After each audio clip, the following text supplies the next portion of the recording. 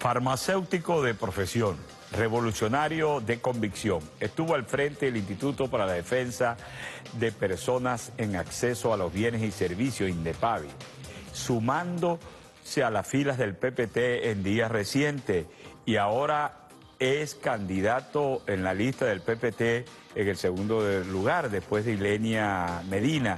Esto es encendido. Hoy nos acompaña Eduardo Samán, candidato a la Asamblea Nacional Constituyente.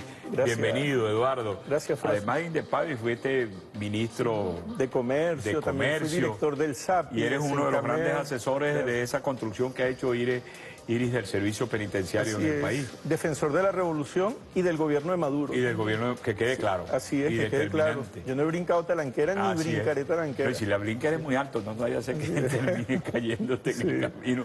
Y en esta brincadera de talanquera, ¿qué es eso que se llama lealtad para ti? Lealtad de este proceso. Sí, mira, este es un proceso desde los 18 años que yo tengo conciencia política. Tengo ahorita 53 años de lucha y de, y de construcción de un proceso, de un sueño, que en un principio nosotros nos desmoralizamos con la caída del bloque soviético, pero que, que la llegada del comandante Chávez, bueno, nos, nos, volvió a dar vida, pues nos, nos fortaleció y que, bueno, entendimos que no había llegado ningún fin de la historia y que teníamos que seguir luchando. Y esta es una lucha que es de toda la vida y es un proceso que uno siempre tiene que apelar a su condición de clase social y tiene que saber que la, burguesía, los, ricos, así esto hay que decirlo claramente, ¿no? los ricos nunca van a querer un pobre. Yo jamás hubiese sido ministro de comercio si no hubiese sido por un proceso revolucionario. Mucha gente no hubiese tenido nunca, no hubiese podido soñar con una casa, con un empleo digno, con, con algo, con un estudio, con una carrera, si no hubiese llegado a esta revolución. A esta revolución nosotros le debemos mucho, todos, sobre todo la clase asalariada, la clase pobre de, este país, y debemos seguir independientemente de nuestras diferencias que podamos tener con, con, algo interno, etcétera, tenemos que seguir apoyando este proceso. Ahora, fíjate, en estos momentos Venezuela vive un escenario supremamente estelar. Una guerra financiada desde afuera, muchos recursos, que ha incorporado a jóvenes y a gente también de escasos recursos a pensar distinto y a, frentear al gobierno con una construcción de odio y de violencia. ¿Cómo lo mira Eduardo Samán? Sí, mira, esto es parecido a lo que, a lo que está sucediendo en Siria, que afortunadamente esa guerra prácticamente está terminando en Siria. ¿Tú eres de, de, padres árabes? Sí, nacido en la maternidad Concepción Palacio. San Juan. En, San Juan, parroquia San Juan. Este Donde nacen la mayoría de los caraqueños. Bueno, ahorita nacen en clínicas, pero antes todo a la maternidad. Sí. Y bueno, en el terrorismo se está en Siria está casi derrotado porque fue, fue, fue rota el financiamiento que le da que le daba Qatar a las, al terrorismo, al a lo que llaman el Estado Islámico, el ISIS. Y, y este, esta guerra que, está aquí, que se ve que es una guerra donde bueno, hay, hay drogas.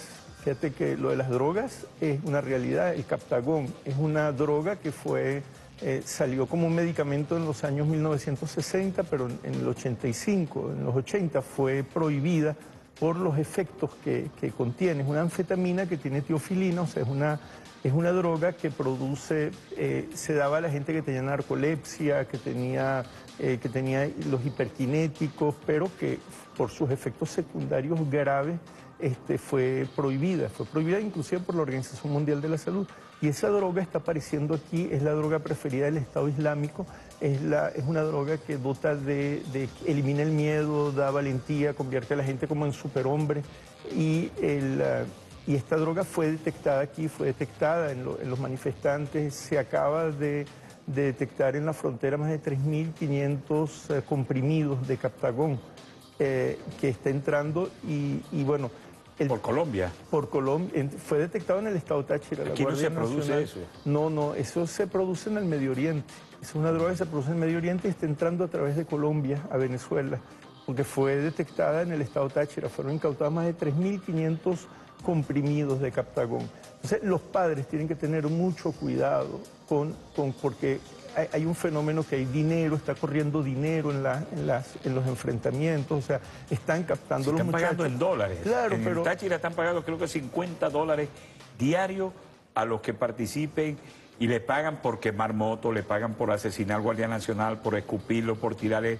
Por cada uno de esos grados van ganando mucho más dinero. Pero tú hablabas algo del cactagón. ¿Qué secuela deja eso sí, en la gente? Porque si es una droga tan peligrosa, ¿qué secuela deja posterior a la acción? Mira, no solamente que la droga es peligrosa, sino que se está consumiendo por encima de lo que llaman rango supraterapéutico, o sea, por encima del rango terapéutico, es decir, efectos casi inesperados. El, esto, bueno, daño porque es una anfetamina, es una anfetamina con teofilina. Eh, daños al cerebro y además el daño que, se, que pueden provocarle a los demás, o sea, quemar personas. O sea, los, los, las acciones más atroces que han hecho el Estado Islámico se atribuye a la asociación con esa droga. Y, bueno, sabemos que hay drogas de por medio, sabemos que hay financiamiento, este, todo esto basado en, una, en, un descontento, por supuesto, que se produjo, oye, por la caída del precio del petróleo. Nosotros tenemos problemas estructurales de la economía y en un año cae el precio del petróleo y entonces se agarran de eso para este, conspirar contra el gobierno, no solamente querer cambiar el gobierno por vías no constitucionales, por vías no democráticas, sino este, aniquilar el chavismo, acabar con, lo que es... Eh, con, lo que es el chavismo, pues que... Este, Pero el odio, el odio se ha convertido en una acción política muy peligrosa. Quemaron dos personas en Lara, desnudaron a unos jóvenes porque eran chavistas y los tiran a correr y a caerle a palo en la calle. Aquí quemaron un, un, joven en Altamira. Ante ese odio, en vista de la situación que se ha generado, con la, cuando hablamos de la lealtad, con la posición de la fiscal de generar más impunidad, ¿qué hacer? Sí, porque fíjate que ahora dicen que como no fueron imputados, hay que, hay que liberarlos inmediatamente. Sí. Sabes que esa, a mí lo que más... Eh, lo que más me duele de este tema de la, de la, fiscalía es que esa fiscalía tiene preso a todos los pobres de Venezuela, porque los fiscales este, lo que hacen es eh, recurrir la decisión de los jueces. Cuando un pobre logra una libertad por cualquier medio, o sea, llega y no y después de mucho sufrimiento porque los pobres no tienen abogados no tienen entonces llegan y, les recurren y los dejan presos. Esa fiscalía lo único que ha servido es para tener preso a los pobres. Y bueno ahorita están de que no imputan entonces no quieren darles quieren mantener los niveles de conflictividad los niveles de violencia. Entonces no imputan los muchachos entre comillas porque oye muchachos que, que, que, que quema un camión de, cisterna de gas, o sea, de gasolina, ¿qué es eso? O sea, además ponen en peligro su propia vida. Entonces, a veces hasta privarlos de libertad de tenerlo, es hasta por su propio bien, inclusive. Yo sé que me van a criticar por esto, pero, pero hasta por su seguridad. Esos muchachos hay que detenerlos y que no son ningunos muchachos, allí hay gente que está, que es hecha y derecha, ¿no? Que, que sabe lo que lo que está haciendo. Este, eh, está siendo dirigido, están siendo financiados. Es importante cortar ese financiamiento que están recibiendo, porque mientras, mientras ellas sigan recibiendo ese financiamiento, bueno, van a mantener los niveles de conflictividad, pues porque van a tener dinero para seguir pagando, para seguir incorporando gente. Y bueno, la gente está cansada de eso cansada, no dejan que la economía se, se, reactive, la economía, o sea, la protesta era por la situación económica principalmente, ¿verdad? Pero entonces no dejan que la economía se reactive.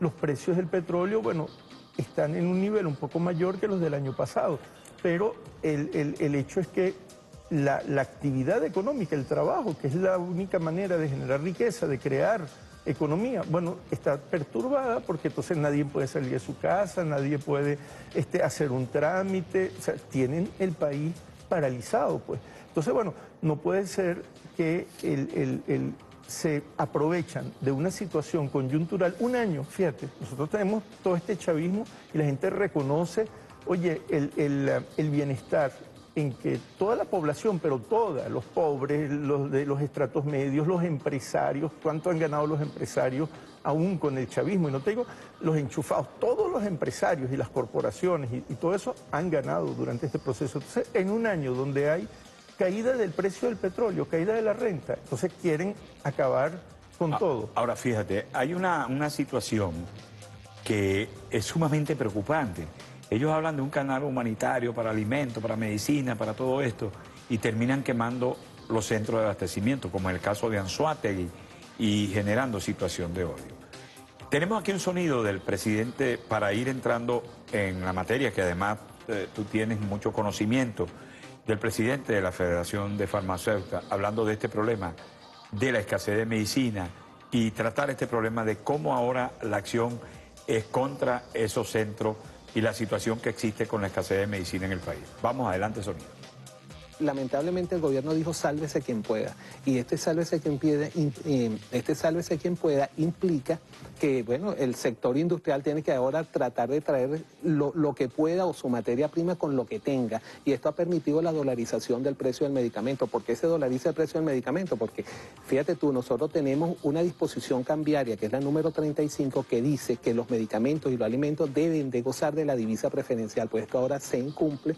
Lamentablemente el Estado venezolano no le otorga divisas a la industria, se dolariza el precio del medicamento y acaba con el acceso, porque ahorita el paciente llega a la farmacia cuando consigue algún medicamento, pues lamentablemente no lo puede comprar.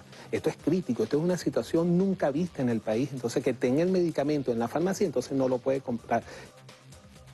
Tener los medicamentos, ¿cómo llegan los medicamentos? ¿Por qué se dice que se está produciendo los medicamentos y no terminan llegando a la farmacia? Sí, antes de contestarte, Fraso, Tú hablabas que quemaron el Mercal, ¿no? Pero es que también quemaron el centro de, acopio de medicamentos del Estado Bolívar.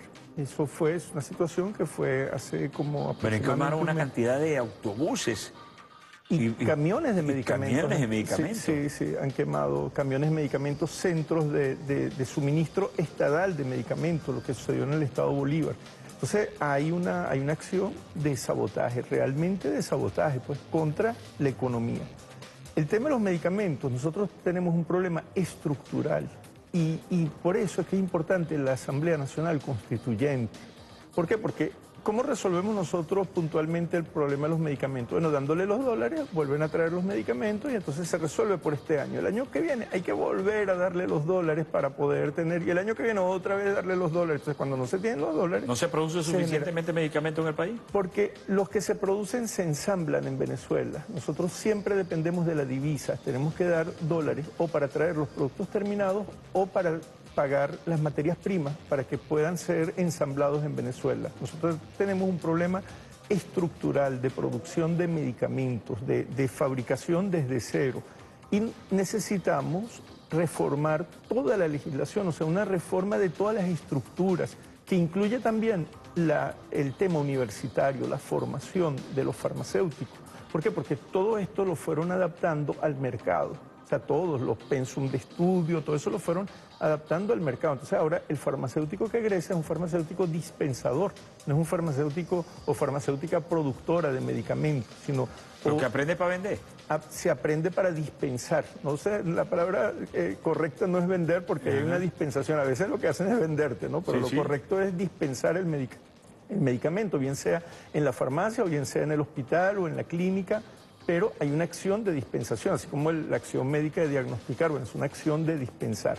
Hubo el tema de mercadeo, porque fueron adoptando los estudios, y no solamente en farmacia, casi todas las carreras universitarias. Es necesario la reforma, la constituyente universitaria, la constituyente farmacéutica, es un tema que hay que llevar al, al tapete, a la discusión.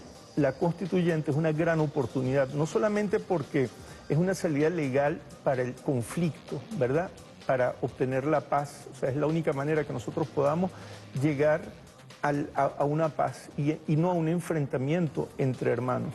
Yo, vamos a hacer un corte, pero al regreso quisiera que habláramos de algo. Fíjate, te voy a poner dos nombres de dos medicamentos. Los veo directamente. Los sartán o posático. Eh, potásico. Potásico. Hay, los sartán potásico 100, 100, 100 miligramos. 100 miligramos o 50 ¿Hay de 50 o de 100? O de 100. Y el glucofagen, que de 500 esto. Era muy económico el glucofagen antes. Ahora inventaron un XR, no sé qué cosa, para aumentar el precio. Eso es cuestión de mercadeo. El gobierno en días pasados aprobó dinero para producir esos medicamentos, para que se trajeran los medicamentos, la materia prima y todo. Y siguen escaseando. Sigue habiendo como una especie de negocio en las farmacias donde tú tienes que tener un contacto para que te informe que llegó y son colas comprando los sartán para verlo vender luego en la calle o para hacer uso, porque ahora todo el mundo vende medicina, los buhoneros venden medicina, todo esto. Por internet. por, internet, por todos lados. Quiero que regreso, hablemos de eso, pero antes de ir al corte queremos decir que Ana Rosa tuvo un imprevisto y no nos va a acompañar hoy en la mañana. Tú venías interesadísimo en conocer a Ana Rosa y ver su belleza. Eh, otro día te invitamos. Ya Ana Rosa vendrá mañana nuevamente a Encendido. Vamos a un corte y ya regresamos con Encendido. Verificados sus datos, se acercan a la máquina de votación. La votación se va a realizar en la pantalla, no en boleta electoral como en otros procesos. Y nos vamos a encontrar con la posibilidad de ejercer el voto territorial. Escoge cualquiera de los números. En el caso del voto territorial van a estar también los nombres. Inmediatamente decimos votar y se activa entonces la pantalla del voto sectorial en dependencia del sector al cual corresponde ese elector o electora que está frente a la pantalla. Hace una elección también con números. Oprimimos igual votar y la pantalla emite entonces el comprobante de voto que corresponde. Lo retiro, lo doblo y en la siguiente estación va a estar la caja de resguardo para depositar el voto.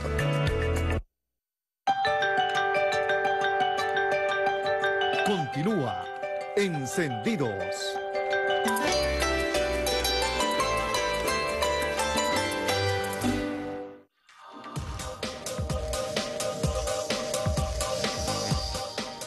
Bueno, Eduardo, tenemos cualquier cantidad de interrogantes que nos están llegando por las redes y la gente escribiendo, pero sobre todo esta preocupación que te dejé al corte sí. en relación a las declaraciones a, las declaraciones del presidente de, la, de, los farmacéuticos, de la Asociación de la Federación, Federación de Farmacéuticas, y este problema de la cadena de distribución. ¿Por qué si se dan los recursos, se coloca esto, existieran algunos errores que no obligan a que eso salga a la venta? Sí, hay una, hay faltas. yo no quiero, yo no estoy diciendo que nosotros nos la estamos comiendo con el tema farmacéutico, ¿no? Para la importancia de ese tema, que es el, que es la, como después de los alimentos, el segundo motivo de la guerra, ¿no? Eh, no hemos hecho, o sea, no, hemos puesto el empeño necesario con el tema del motor farmacéutico, por ejemplo, y esa crítica el propio presidente Nicolás Maduro la ha hecho porque no está satisfecho con el tema de la de, nuestro accionar, digo, del, proceso en relación a los medicamentos. Ahora, no podemos negar que los, algunos productores usaron dólares, divisas propias para importar materias primas en un momento coyuntural que hizo que en ese momento los precios se dispararan. Eh, también el, el, sistema de DICOM, que es un sistema de subasta que ya está fluyendo, y eso es muy importante también, ya está empezando a otorgar divisas a los, al sector farmacéutico. Y ese otorgamiento ha ido en crecimiento. O sea, en el último DICOM se otorgaron, la última subasta, que fue la quinta, se otorgaron 2.5, casi 2.3 millones de dólares en una subasta en una semana. Eso es importante porque eso comenzó otorgando muy pocos, 23 mil, 30 mil dólares, ¿no? Pero ha ido, se ha ido incrementando este, la asignación a ese sector importante. Y esa es una divisa que es, ah, que es una divisa accesible, porque ¿qué sucede con el, con el dólar de 10? O sea, el dólar de 10, tú sacabas, cuando calculabas el costo del medicamento, un medicamento 2 bolívares, 5 bolívares, o sea, una cosa que era propenso al bachaqueo, este, el mover el medicamento era más caro que el costo del medicamento, o sea, ahí hay una distorsión tremenda, sin embargo, esa divisa todavía existe y se, asigna al, Estado.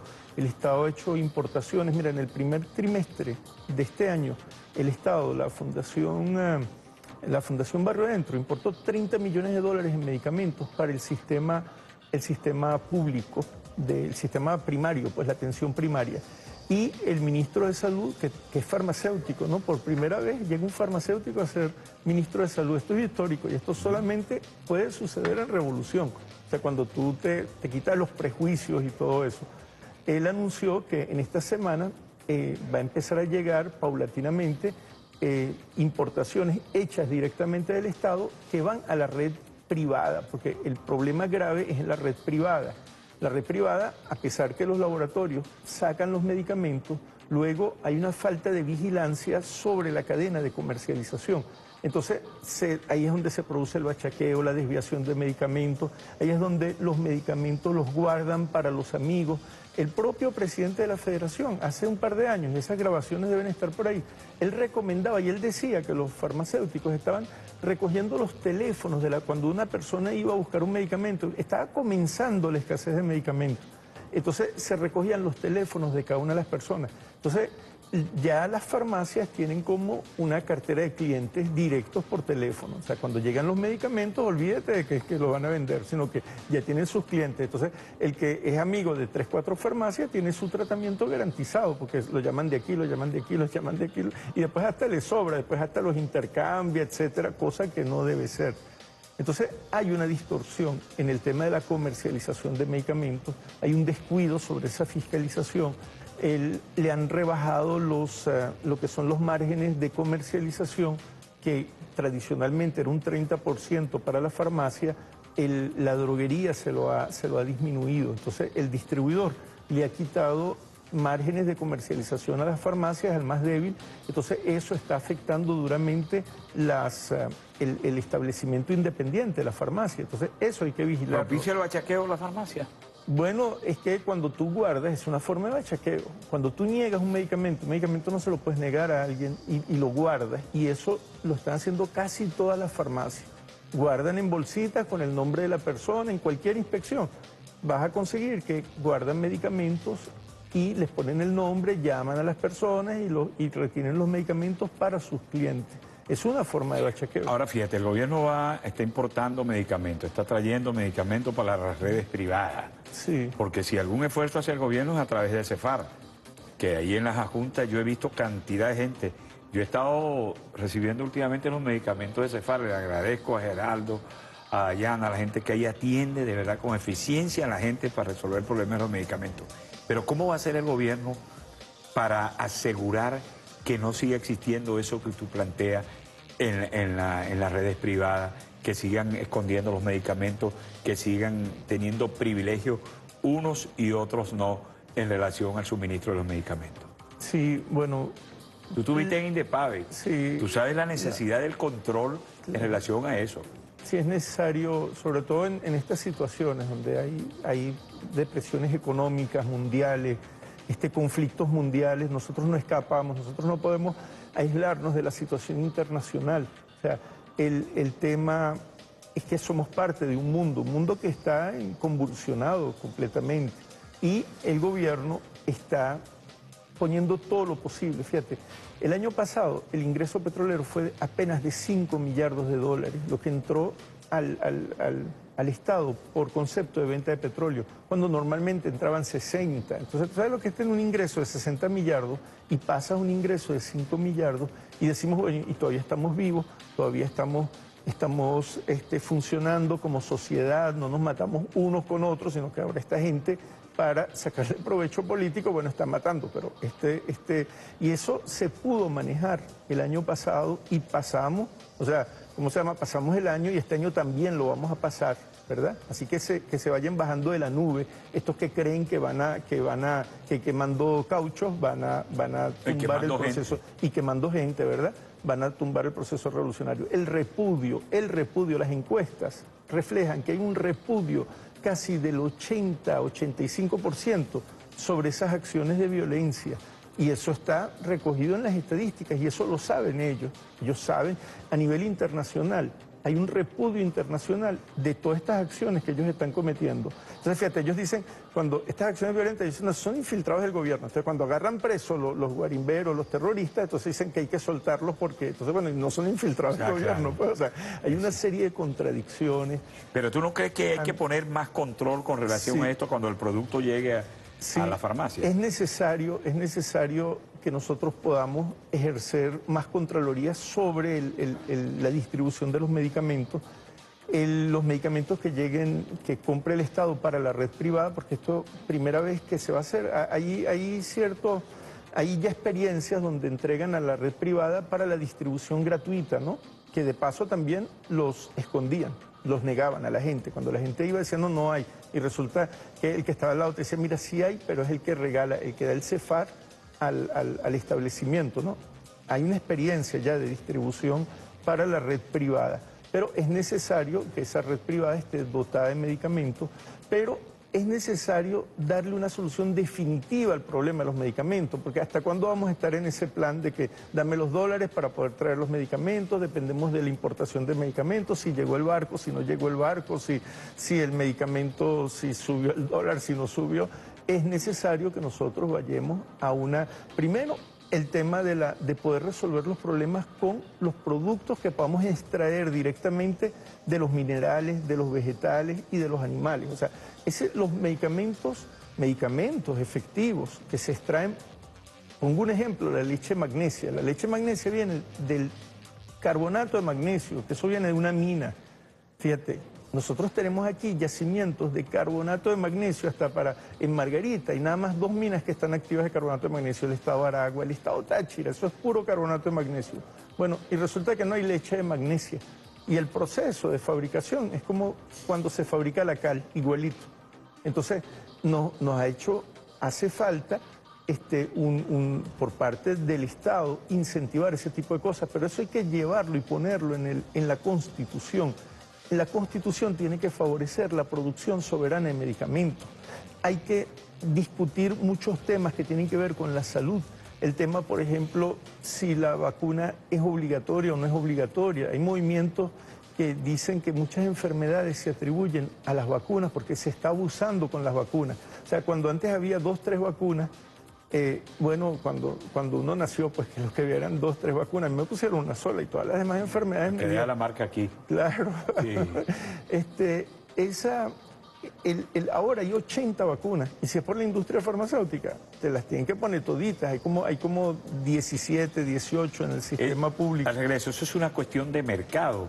O nosotros estamos en capacidad de qué manera colocar en la constituyente que se legisle en el sentido de asegurarle un mayor servicio de medicamento a la gente. Ya regresamos con Encendido y el doctor Samán.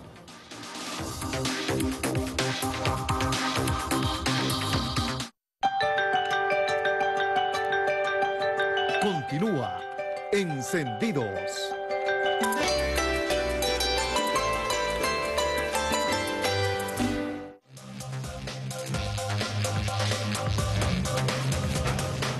La gobernabilidad o el hecho de gobierno también obedece a acciones contundentes, respuesta de gobierno, respuesta de controles, respuesta de contraloría en relación al hecho de aplicar algunas medidas. Entonces se necesitan más leyes. Mira, la constituyente es una gran oportunidad porque no solamente la constituyente va a tener la posibilidad de reformar la constitución, nuestra constitución, sino que va tener la capacidad, porque es el poder en manos de las bases, el poder en manos del pueblo, va a tener la posibilidad de tomar medidas. La constituyente, una vez que se, que se establezca, que se elija los delegados, va a poder tomar medidas. Y esas medidas, bueno, van a tener el peso porque es una, es una forma de, de dirección colectiva del proceso revolucionario. Esa es la gran oportunidad que nos está dando la constituyente y por eso es que la oposición se, se opone, valga la redundancia, a por eso que ellos le tienen tanto miedo a la constituyente, por eso que se enloquecieron con el tema de la constituyente, etcétera, etcétera, porque es el poder transferido al pueblo frente a una situación de crisis, ¿verdad? Entonces, la constituyente tiene que resolver problemas estructurales. Nosotros tenemos el problema de la propiedad intelectual, el tema de las patentes. En el 2007 demostramos, lo demostramos antes, desde el 2004, en una tesis de grado desde el Servicio Autónomo de la Propiedad Intelectual, que el artículo 98 de nuestra querida Constitución, la Constitución que nosotros aprobamos, que peleamos que, y que la oposición votó en contra, que no la quería y todo lo demás, ¿verdad? Nosotros demostramos que había sido manipulada por el señor Miquelena, por el señor... Eh, este, Sí, Luis Vallenilla, el otro, eh, eh, el otro, un señor... Alfredo Peña. Alfredo Peña. Bueno, una serie de constituyentistas que estaban, que Luego todos ellos brincaron la talanquera, eso sí, brincaron la talanquera, ¿verdad? Y, ahí se demostró en una, en una investigación que se hizo con el diario constituyente, el diario de los constituyentistas, que por cierto, quien nos facilitó el material fue Vladimir Villegas, que en ese momento era secretario de la Asamblea Nacional, de la Asamblea, de la Asamblea Nacional, porque yo... ya le había sido constituyentista. Él había sido constituyentista y él era secretario de la Asamblea y él nos facilitó el material. Nosotros demostramos, y eso está en una tesis de la doctora eh, Castiela eh, Velázquez, de cómo el artículo 98 fue manipulado y una cosa fue lo que se aprobó en plenaria y otro fue lo que salió publicado en Gaceta Oficial. Y eso lo llevamos a la reforma del 2007 y el comandante Chávez incorporó ese artículo al bloque A, que son los artículos iniciales que había propuesto el comandante, más seis artículos que había tomado de, de, de las propuestas y él consideró... Que después le empastelaron todo en la Asamblea Nacional. Bueno, y, más la traición que hubo ahí por el tema, bueno, que uno sabe, pues los que traicionaron, que ahora están del otro lado. Ahora vamos a ir nuevamente, aprovechando la constituyente, a estudiar ese artículo en específico. Sí, exacto, y a llevarlo a la discusión. Mira, el derecho, el derecho, porque no basta con decir que el Estado garantiza la salud así, ¿por qué? Porque es necesario, por ejemplo, decir que las personas tenemos derecho a saber lo que, nos, lo que estamos tomando. Tú vas a un médico y, y, tú habla, el médico habla contigo, ni siquiera te dice que te va a prescribir con una letra que ni siquiera se entiende, la entiende nada más el farmacéutico. Entonces tú te tomas algo sin saber a qué te estás exponiendo, ¿ves? Y es un derecho constitucional, que tú tienes que saber a qué riesgos te estás sometiendo cuando tú tomas un medicamento. Eso tiene que estar en la, en la Constitución. ¿Ahorita está en la Constitución? No, la, la palabra medicamento no aparece en toda la Constitución, porque no fue en ese momento, en el 99, no fue considerado ese bien social como importante, porque no teníamos el problema, pues. El, tema de que tú te enfermas, una enfermedad cáncer, y entonces todos tus, todos tus ahorros, todo tu patrimonio se te va en el pago de, la, de los medicamentos y, de la, y, del, y del tratamiento y todo lo demás. Entonces tú trabajas y al final de, tus días, entonces tú terminas transfiriendo todo tu, todas tus pertenencias, todo a una gente que vive que tiene acciones en clubes, tienen camionetotas de, último modelo, tienen no sé qué más. Entonces, eso, desde el punto de vista social, hay que llevarlo a la discusión. El hecho de usar personas en el ensayo de medicamentos, usar seres humanos, usar animales para ensayar medicamentos de forma innecesaria, solo para excluir, por ejemplo, la salida de genérico al mercado. Bueno, eso tiene que regularse. Toda la legislación en medicamentos, para nosotros salir esta trampa en que nos tienen metidos, todo eso hay que reformarla, pero sobre unas bases constitucionales. Las bases constitucionales donde se favorezca la producción soberana en medicamentos, donde nosotros este, desechemos ese poco de legislación adoptada de otros países que lo que tienen es el juego trancado. Este proceso revolucionario, tú hablabas ahí que cuando se discutía la constitución, unos factores de lealtad, de, de lealtad y de traición, para decirlo así, actuaron para cambiar estos artículos. Vamos a ver algo que dice el presidente Chávez en relación a la crítica y a la lealtad en este video. Adelante, video. Recordar siempre que las diferencias deben, deben ser manejadas con, profundidad dialéctica, con altura dialéctica, para que produzcan síntesis dialéctica y no eh, pobre de aquel que por tener una diferencia eh, de enfoque, de visión o de idea con otro compañero o, un grupo con otro, entonces empiezan a verse como enemigos y a atacarse como si el enemigo estuviera aquí y a hacer señalamientos genéricos que a veces rayan en la irresponsabilidad. Un militante del Partido Socialista Unido de Venezuela que tenga razones para hacer una, una denuncia, debe hacerla puntual, razonada y no agarrar, ponerse a escribir por un periódico o agarrar el Twitter o el telefonito y empezar a bombardear a todo el mundo. Esa no es una actitud responsable en un revolucionario.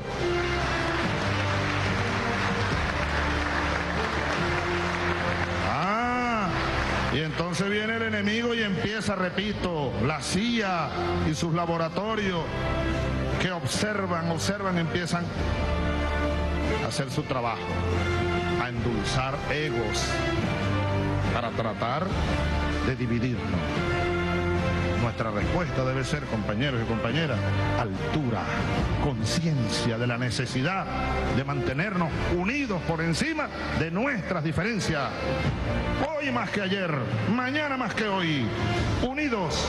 En este caso, el bloque parlamentario socialista debe ser un solo bloque, que debata hacia adentro sus diferencias, sus distintas opiniones, pero tiene que presentarse ante el enemigo unido, ante los pitiyanquis, ante los yanquis, ante la burguesía y ante el imperialismo. Ahí está lo de la lealtad, esto, por ejemplo. Pero excelente, ¿no? Excelente, lo que estamos hablando, la altura dialéctica, la síntesis dialéctica, lo que habla el presidente. ¿Tú tuviste en la Fundación del Sundet? ¿Tú trabajaste de eso o, fue, o ya estaba fuera de, esa dirección? Pero te pregunto esto porque la gente también le preocupa. Hay alguien me escribe ahorita la situación que se ha generado con otra invasión de productos de Brasil y de Colombia que traen, que ni siquiera lo traen los farmacéuticos y eso, que lo venden carísimo. Entonces la gente está ahora comprando esos productos y no hay control. Insistimos en lo del control. Sí, mira. Y lo de la crítica constructiva, como decía Chávez. y lo de la dialéctica, que la crítica tiene que conducir a una superación a poder subir y tiene que ser desde lo ideológico, ¿no? No, es crítica de que tú eres gordo y que tú tal cosa, que tú, este, y, los chismes, ¿no? Que si fulano hace esto, si no hace esto, si tiene... O sea, esos son chismes, eso no lleva a ningún lado, a la, eso no lleva al, avance de este proceso. Este, yo me voy del PSU precisamente para poder, primero un llamado de, de atención, ¿no? Y segundo, poder establecer el debate, el debate eh, un debate dialéctico. El Partido Patria para Todos, ahí está la camarada Ileña Medina, está eh, Olga Álvarez, Hindu Enderi, todos son compañeros. Eh, pero Uzcategui va, eh, Rafael Uzcategui va por... Eh, ah, no, no, que está en la dirección, decía Está en la dirección nacional, pero yo digo... En la lista. En la fórmula, la fórmula, de la lista de constituyentistas del municipio Libertador. Así es. Sí, ahí está también una muchacha de la juventud del PPT, Oriana Betancourt, una muchacha muy eficiente, muy buena.